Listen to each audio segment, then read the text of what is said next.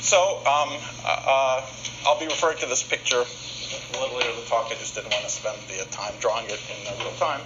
So at some point towards the end of the talk, we'll understand how that uh, how that picture is calculate is doing a one loop calculation in either de Sitter or anti de Sitter space. Um, um, but uh, of course, uh, at this uh, at this uh, workshop, there, um, not just at this workshop, everywhere there's lots and lots of discussions of the idea of emergent space, emergent space time.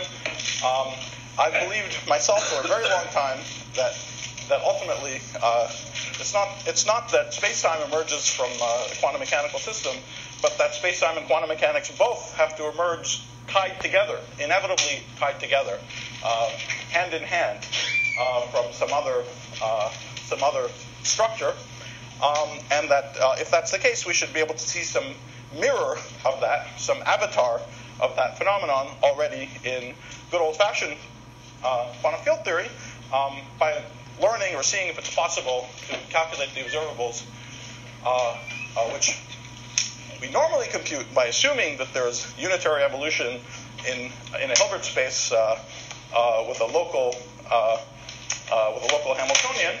Um, if there's some way of reproducing all of the observables of a quantum field theory without putting in the space-time, without putting in the Hilbert space structure.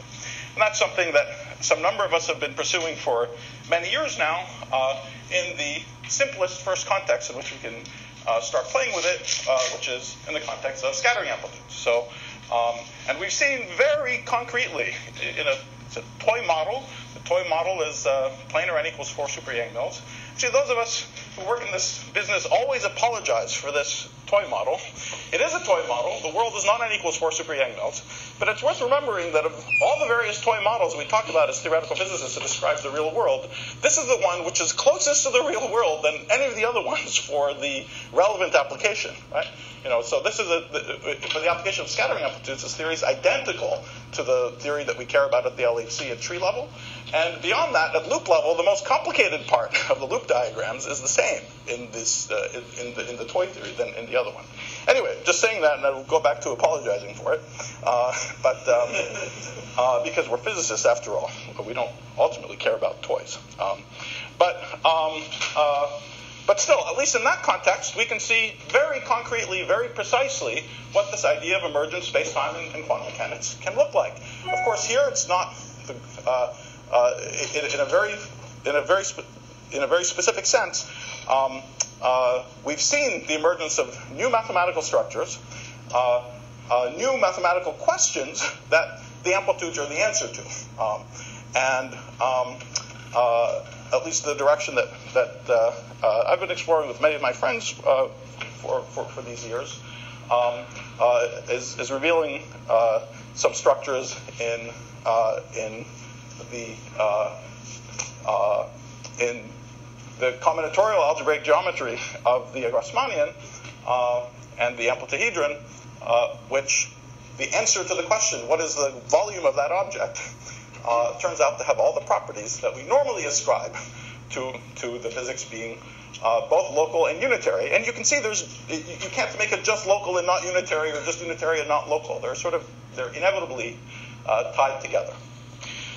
So now, what what uh, something that uh, allowed a, a, lot of progress to be made uh, along these lines is that um, uh, we can see what the imprint of the local and unitary structure of the, of the theory is, practically speaking, on the amplitudes themselves. And locality and unitarity are reflected in very beautiful, simple analytic properties of the scattering amplitude. So uh, the singularities of the amplitudes tell us something. Uh, the correct kinds of singularities tell us something about the uh, tell us something about these two principles. And once you start staring at it long enough, um, uh, uh, you can start wondering whether there's some other structure that can generate exactly the same singularities without, uh, you know, you have a pull when some particle goes on shell. That means practically in the actual expression there's a 1 over p squared. And in your mind, you might think the only way you could possibly get that 1 over p squared is if there are two gluons, they hit each other, and one propagated over a very long distance to make something happen on the other side.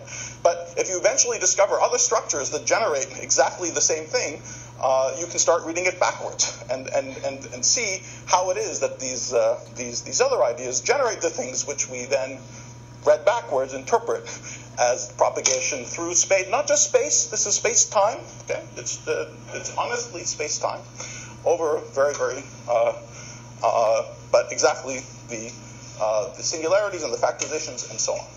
So, so we're at a good advantage that we knew ahead of time, at least roughly speaking, what those singularities could look like. A.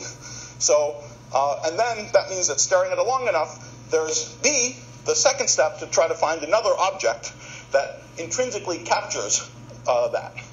And uh, I think if there's one general lesson, there's still a huge amount about this uh, business we don't we don't understand. It's far from obvious that even this limited case of even the limited problem we care about, uh, that we're still thinking about it in the best way. But I think there's one interesting general lesson, which is that what these objects look like don't live in space-time, and if you have n particles, they live in a higher and higher dimensional space as n gets uh, larger and larger. Really fundamentally, they live in some infinite dimensional space. And if you want to focus on a finite number of particles, well, you have to go to a finite dimensional part of this big infinite dimensional space.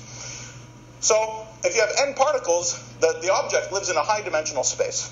And what the object does is encode combinatorially all the relationships that, uh, that uh, that the scattering between these objects induces. Okay?